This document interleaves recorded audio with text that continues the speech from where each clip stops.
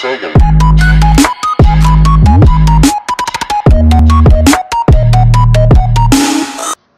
Ciao a tutti ragazzi, sono Rin Ganevo e oggi siamo sul primo commentary di Call of Duty Infinity Warfare. In questo commentary vorrò descrivervi un po' il gioco, di cosa ho trovato nella beta e di come penso che sia il gioco. Partiamo dalle armi. Le armi che al momento vanno per la maggiore sono l'NV4, il KBAR 32, l'R3K per uh, i fucili d'assalto. L'NV4 e il KBAR sono armi automatiche che sono quelle che utilizzo principalmente io, come in questa partita utilizzerò l'NV4 mentre l'R3K è un'arma raffica da 3 che, vengo, che vedo che è molto utilizzata anche per chi ha anche tanta connessione perché con una raffica veramente ti distrugge. Mentre se lo usassi io posso usare 28 raffiche, tirargli il fucile, le scarpe, le mutande, tutto ciò che posso avere da tirargli contro ma il nemico se ne sempre strafotterà e non riuscirò mai a uccidere.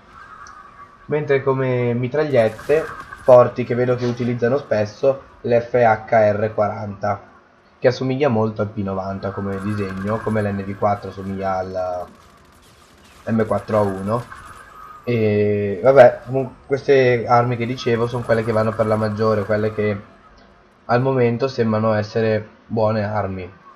Io ad esempio utilizzo l'NV4 e KBAR come ho detto prima con silenziatore, eh, estrazione rapida e calcio regolabile che mi permette di avere predatore come MV3 e poi parliamo del nuclear. Il nuclear in questo gioco sarà un nuclear tattico come quello di MV2 nel senso che quando verrà, la, verrà chiamata la nuclear il uh, gioco terminerà al momento dell'esplosione della carica nucleare.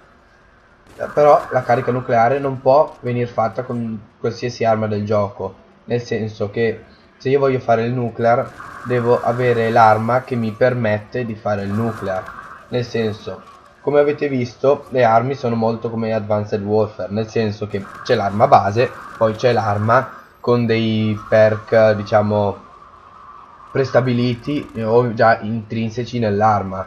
Ad esempio non so c'è quello che ti aumenta la velocità di ricarica se uccidi in headshot o robe simili. Qua devi avere praticamente il simbolo nucleare che ti permette con quell'arma con una serie di 25 gunstreak quindi solamente con quell'arma di ottenere la nuclear. E penso anche che se si utilizza l'inflessibile anche se non credo si possa ottenere la nuclear prima. Ma non ne sono convinto perché ho visto che inflessibile va solamente sulla serie di punti e non sulla serie di kill.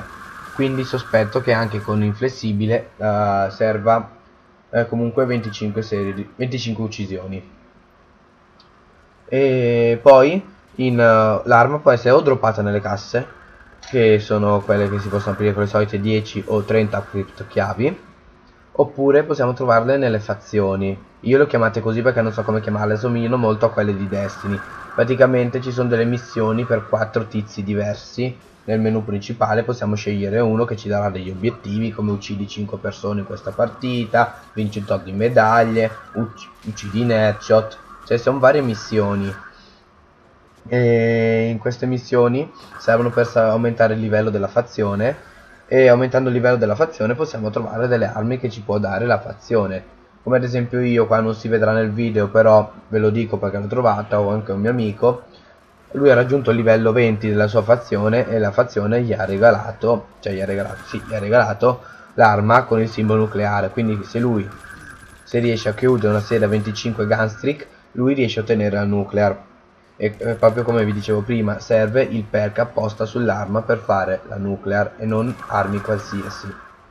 Tutte le kill fatte anche se abbiamo l'arma col nuclear però facciamo delle uccisioni con un'arma raccolta da terra che non ha eh, il perk intrinseco noi non, la, nella serie non verrà contata. Quindi serviranno 26 27 o più uccisioni in base a quante uccisioni abbiamo fatto con l'arma senza perk e poi come giocabilità non è male nel senso che il, il salto e lo spostamento in scivolata a parer mio è stato molto eh, nerfato nel senso che una volta come Call of Duty Black Ops 3 o Advanced Warfare il salto contava tantissimo.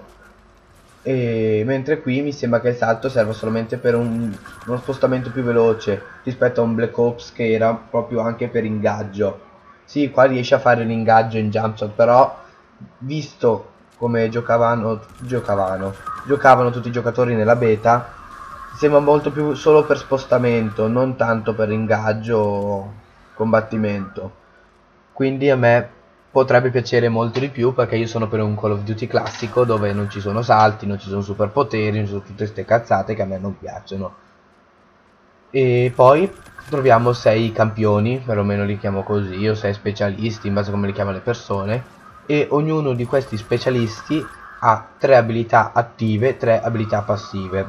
Chiaramente possiamo tenere attiva un'abilità attiva e un'abilità passiva. Come io in questo momento sto utilizzando il terzo uh, campione o specialista come cazzo si chiama come abilità attiva c'ha sta doppia mitraglietta le Akimbo mentre come abilità passiva c'è un'abilità che non dobbiamo attivare ma è già nel nel pippotto lì come cazzo si chiama è la che praticamente ho un boost dopo ogni uccisione praticamente quando uccido io aumento la velocità di spostamento. Mi sono trovato bene anche col secondo campione dove c'era praticamente un recupero della vita accelerato uccidevi venivi ferito entro meno tempo degli altri recuperavi istantaneamente la vita bellissimo anche il primo campione quello che ti dà ping come in Call of Duty Ghost che quando uccidi ti fa un mini radar che ti permette di vedere se c'è qualcuno nei paraggi. Quindi io di questo Call of Duty della beta perlomeno sono abbastanza soddisfatto rispetto a Black Ops 3 e Advanced Warfare veramente a me ispira molto di più e che come ho detto prima io sono per uno Call of Duty classico ho voluto mettere sotto questo video perché è una partita decente che ho fatto e intanto per raccontarvi due o tre robe sul gioco. Spero che il commentary vi sia stato interessante. Ricordo di seguirci sia sul canale sia sulla pagina di Facebook che ho lasciato in descrizione. Ciao a tutti ragazzi e ci vediamo sul nostro prossimo video